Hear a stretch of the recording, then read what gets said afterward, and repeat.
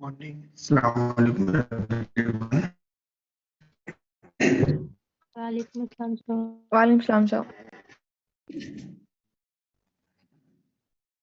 Good morning sir. Good morning.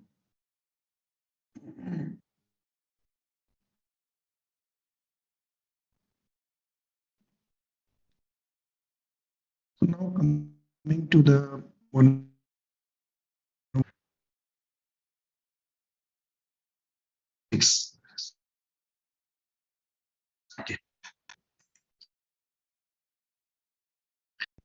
The number just like case of it may uh, that is monopolistic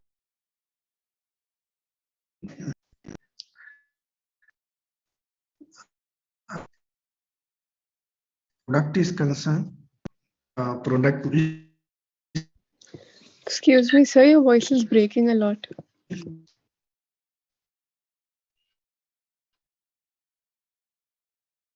is breaking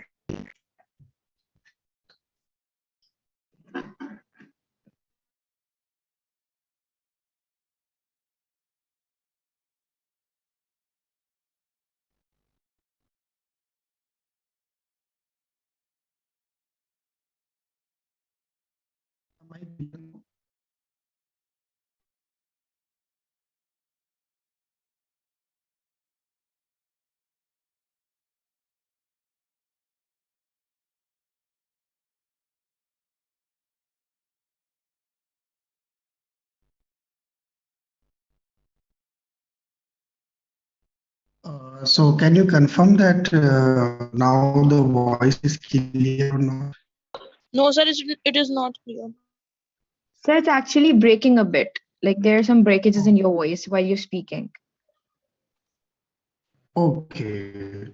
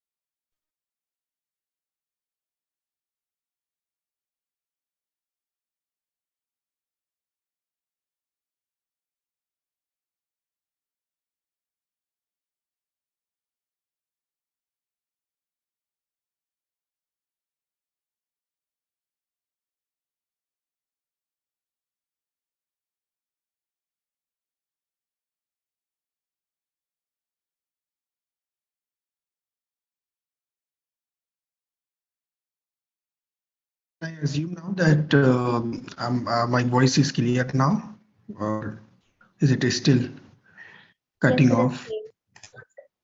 So it's better than before. Okay, so, oh, slightly better. Thank you very much. So, so the thing that I want to discuss with you is uh, monopolistic competition. Uh, the main characteristics that differentiates a monopolist from the rest of the market structure, the differentiated product. Uh, as far as the entry is concerned, it is easy. Any new firm can me, enter sir? into the uh, market and yes, So you, yes, your, your screen is not visible. The slides. screen is not visible. Yes, sir, the slides are not visible. Slides are not visible. Yes, sir. Uh, sir, slides Okay. are visible, but uh, uh, your voice is not clear.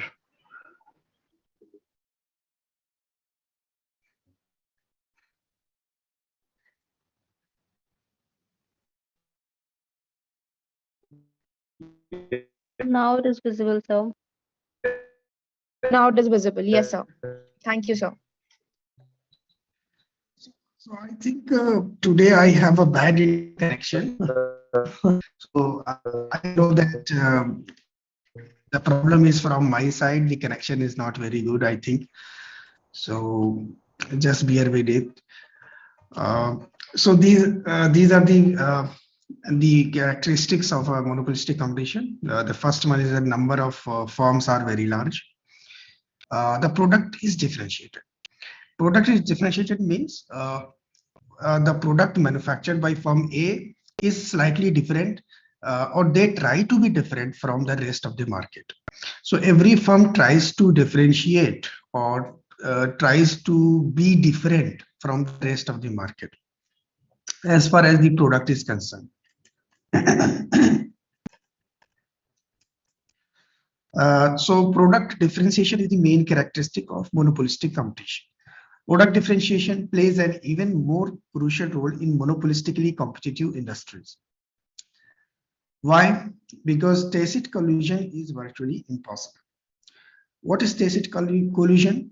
Uh, tacit collusion. Tacit collusion happens when several pla- players in a particular industry uh, make an agreement which is implicit which is not explicit but implicit uh, and they try to you know exploit the consumers and customers. Say for example uh, you might have noticed in case of telecom uh, uh, telecom players like Jio airtel and vodafone whenever uh, uh, one one player increases the tariffs the rest of the players also raise the raise the tariffs so as if there is some kind of uh, unwritten agreement between them. So, so that is an example of oligopoly because there are only three players.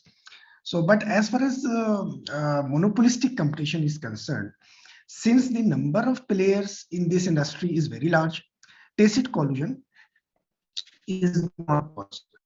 Not possible.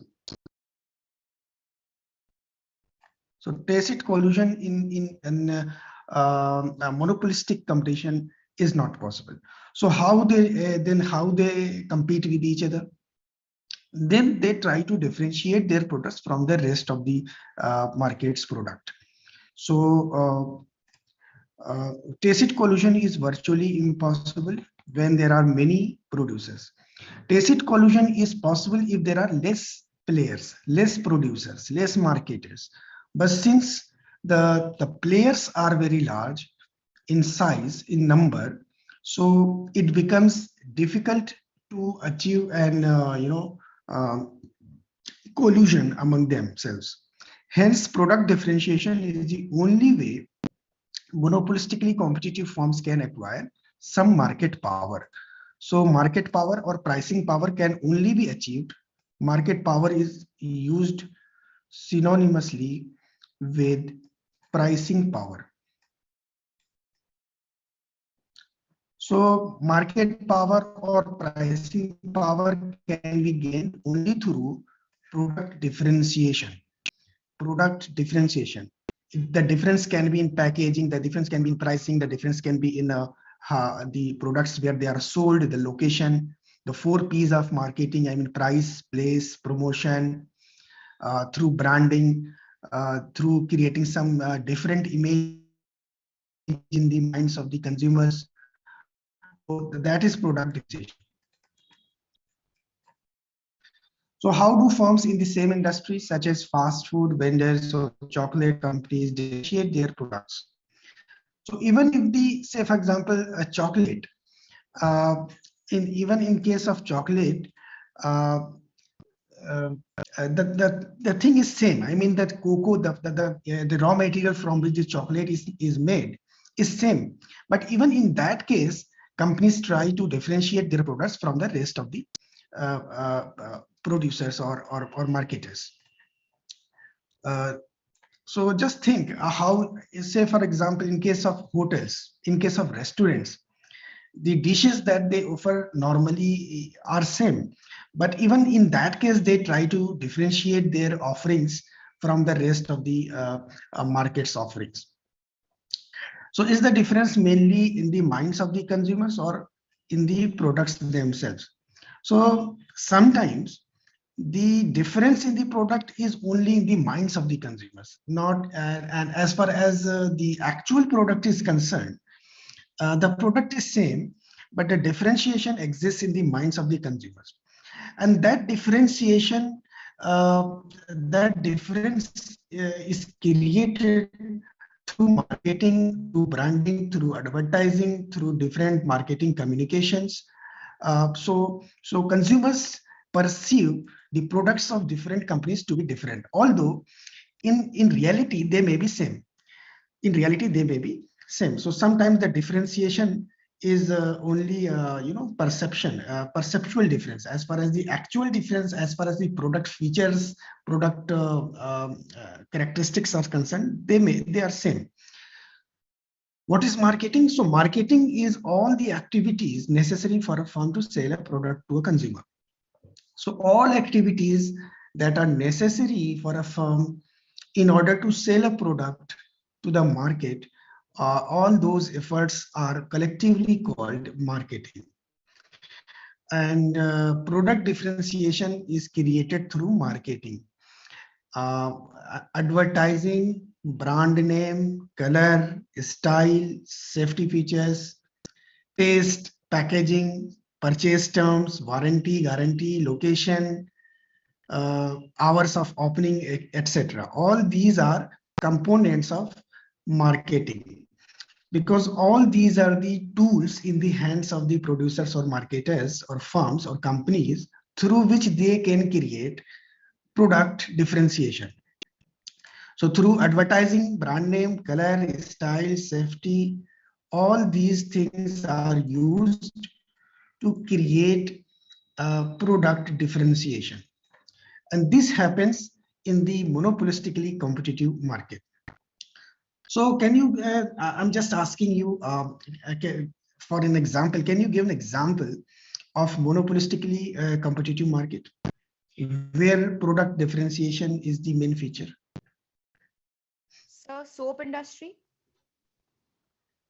Uh, okay, yes, uh, soap industry. Uh, the the formula for soap is almost uh, same, uh, whether it is manufactured by Hindustan Unilever or it is manufactured by Bajaj or, I mean, uh, uh, only the difference is in the packaging, in the name, in the uh, sometimes sometimes fragrances are different, the kind of fragrance that they put in that. Uh, but as far as their function is concerned, different soaps may not be different from each other so much but they try to create a difference in the minds of the consumers that some soaps are of high quality and some soaps are of uh, low quality. But if you go to the, so the gold chemistry ornaments? Uh, gold or yes gold ornaments. Uh, whether you purchase uh, jewelry from tanishq or you purchase uh, from uh, any for example gitanjali to bankruptcy ho gayi wo to bhag gitanjali there are some other brands of you know gold jewelry also apart from tanishq so PC uh, Jewelers. there's uh, PC EC Jewelers is a local jeweler in, in Aligarh. Malabar Gold. Malabar Gold. Malabar Uh, Gold. what- Okay, okay, okay. So all these, uh, I mean, gold uh, ornaments, gold jewelry are basically same. There is no difference as far as the quality is concerned.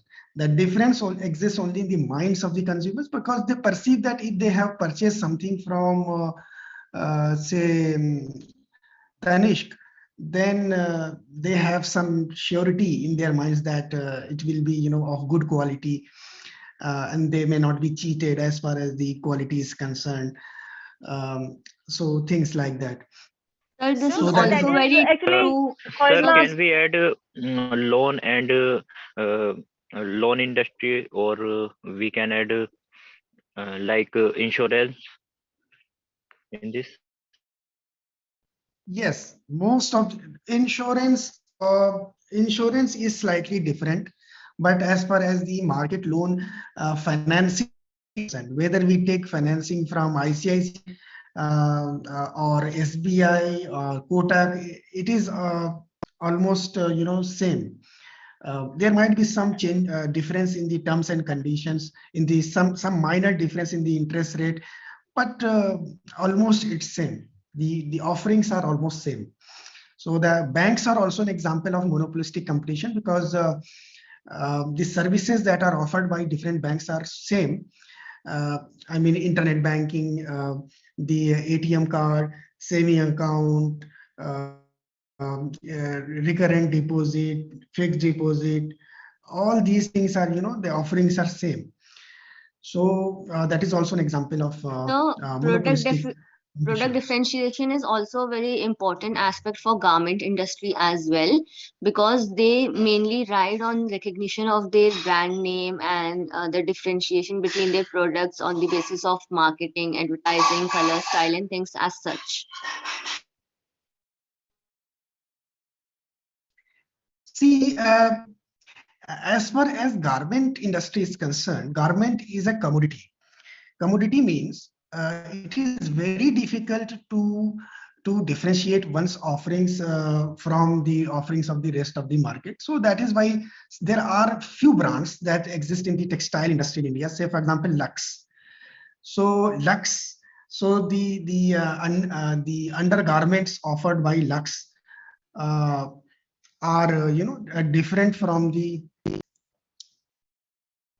uh, just one minute My audible Yes, sir, you are audible. Yes, sir, Okay, you okay. are.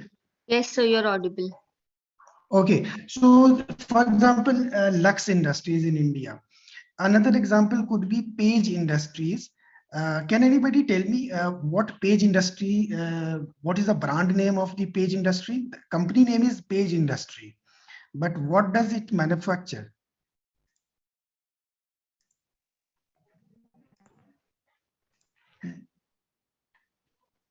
So do you mean paper mills, like the one who which produces papers? No, no, no. There is a company. Uh, the company's name is Page Industries. Page. P A G. Sir, socks. sir.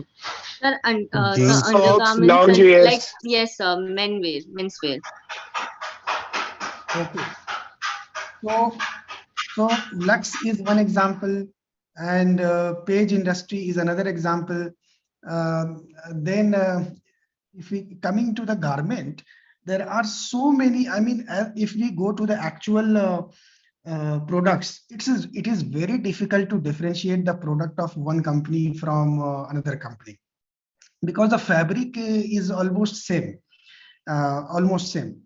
So, so when the thing is such that uh, differentiation is very difficult, that industry is called commodity industry. Commodity industry. In commodity industry, um, uh, the prices. I mean, commodity industry means perfect competition. So in perfect competition, the margin is very low. There is a lot. There there is a lot of competition between different players and differentiation is also not possible. But there, uh, some companies are trying to differentiate uh, themselves. There are some branded stores uh, uh, for um, different brands. For example, if you come, uh, if you different uh, uh, players in that industry, jeans garments. Uh, I mean, uh, denim, I mean, uh, uh, the denim textile. So there are different brands in that industry. But if, uh, so that why they are brand? Because uh, uh, they have differentiated themselves from the rest of the market. So now uh, they are not commodity market. They are not perfect competition, but they have elevated themselves to a monopolistic competition where, where they have differentiated uh, their products from the rest of the market. So And to uh, be similarly, if you- specific, so to be specific, I was actually talking about fast, uh, fast fashion brands such as Zara, H&M, and Forever 21 because uh, they are fast fashion brands. So the way they work is quite similar, but yet they rely on product differentiation and uh, their brand name and marketing of uh, various sorts so as to uh, have a good consumer hold in the market. Okay, okay. Yes, that can be an example of monopolistic competition. Uh, the examples that you have given, Zara and uh, other players like that. Um, uh, uh, that that's correct. That's correct. But in general, uh, if uh, you are talking about very specific example of fast fashion, uh, but um, I mean, textile in general is a commodity industry. Um, uh, and a perfect market industry, not a monopolistic. Right, sir. uh, That is understood. Thank you.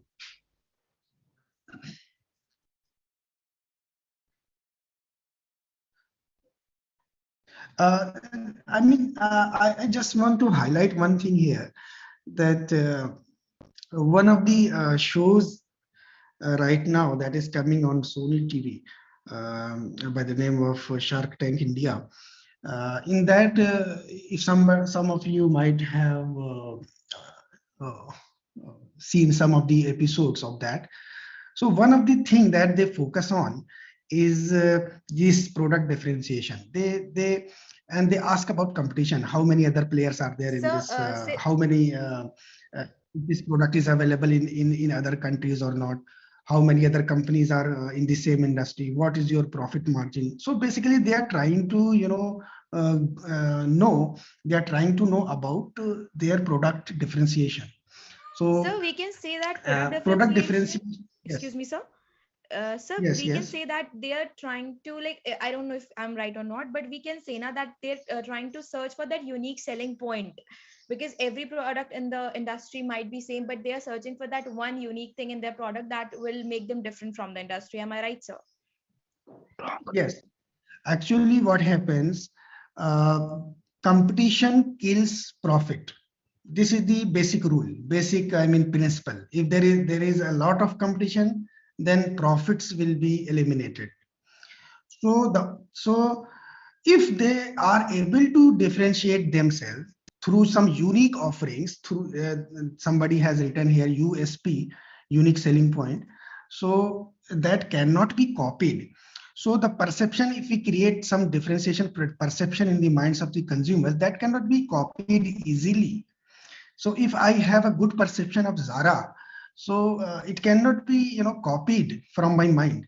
So that is why uh, that acts as a pricing power. Those who have a brand, they have a pricing power. Those who have a product differentiation, they have a pricing power. If they are not able to differentiate their product, they, they won't have any pricing power. So if they won't have any pricing power, their profit margin will be very low.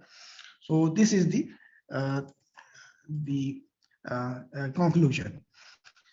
So uh, in a in a in a monopolistically competitive market, a profitable firm will always set a price which is higher than its average total cost, and the difference will be its profit.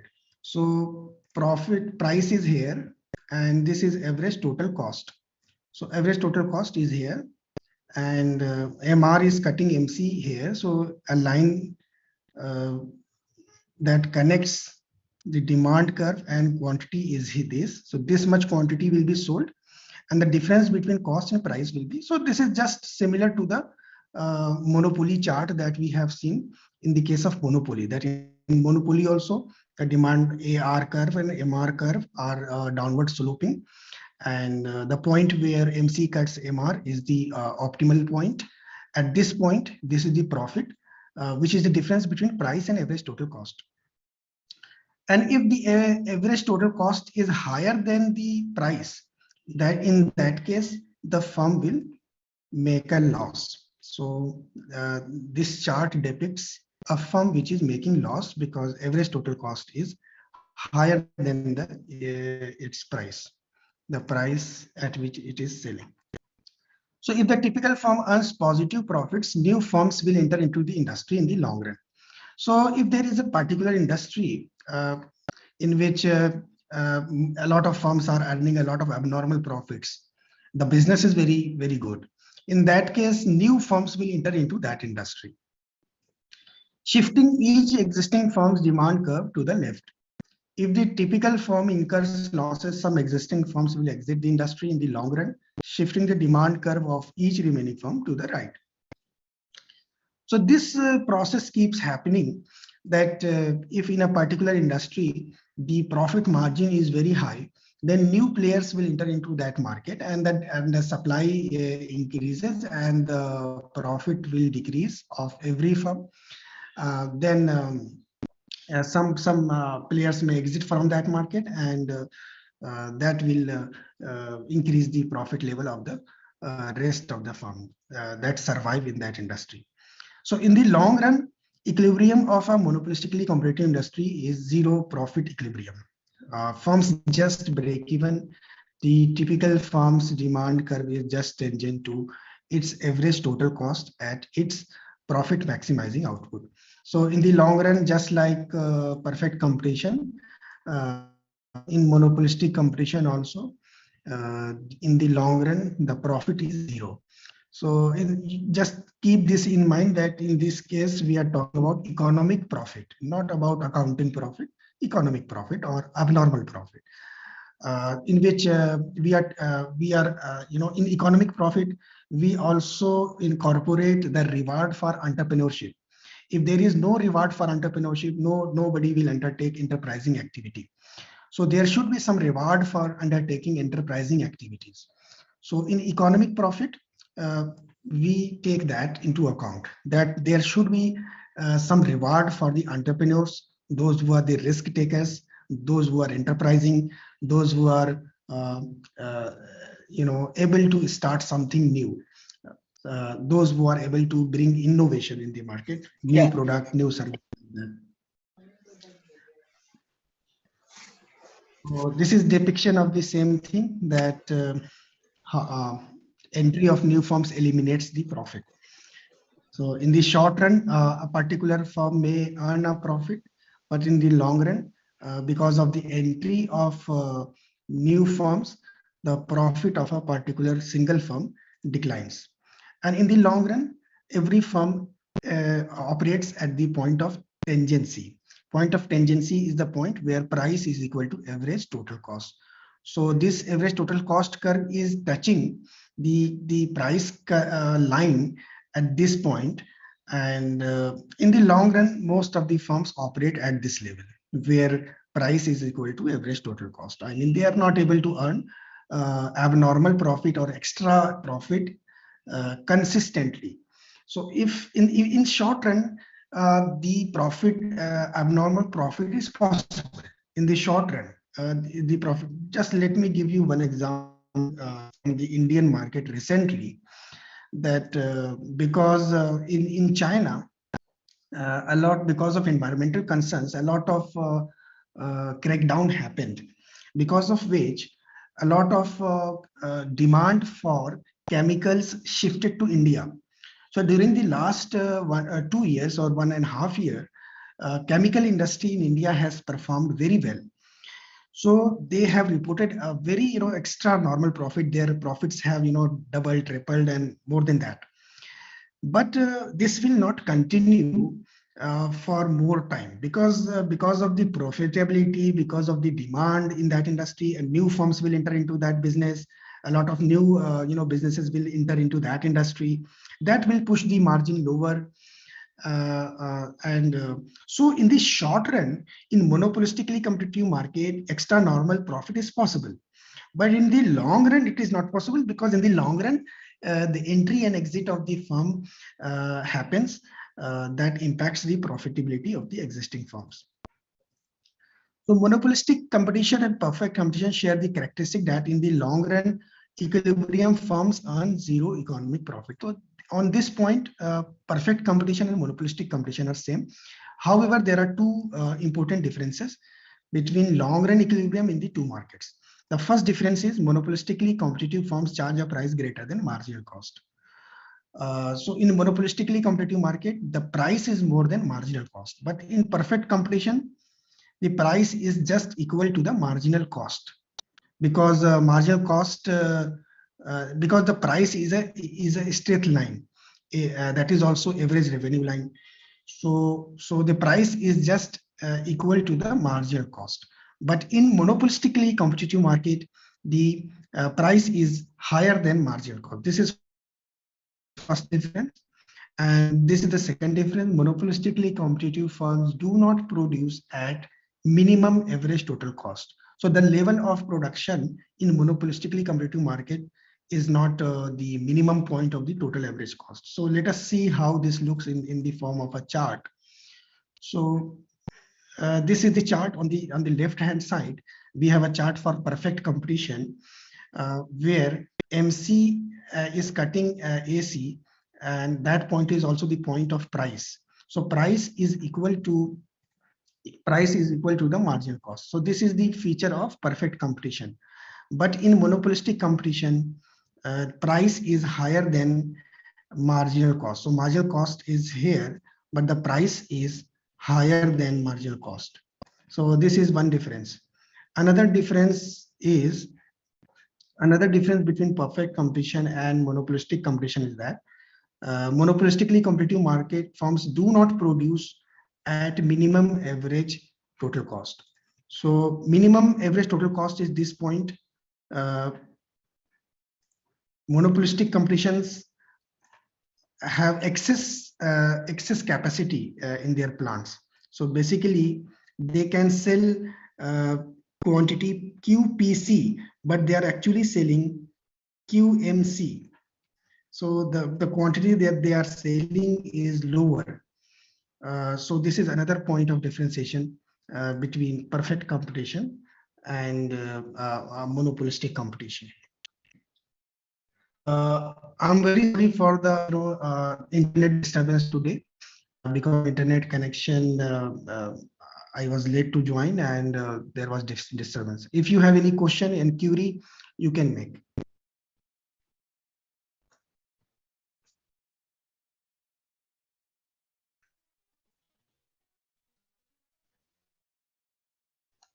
No, sir. Thank you very much. Thank you, sir. Thank you. So can we say in monopolistic competition, a monopolist has the autonomy for the price decision? Some pricing power. I mean, they try to gain pricing power through product differentiation. But in Okay, sir. perfect competition, they don't have any pricing power. The only way through which uh, a firm can gain pricing power in monopolistic competition is through product differentiation. The more uh, one's offering is different, the more uh, prices uh, that firm can charge.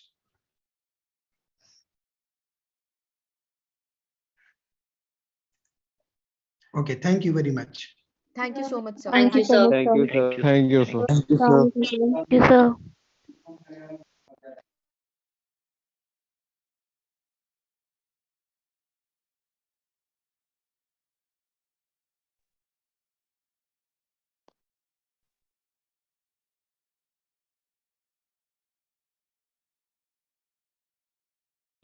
Excuse me, sir.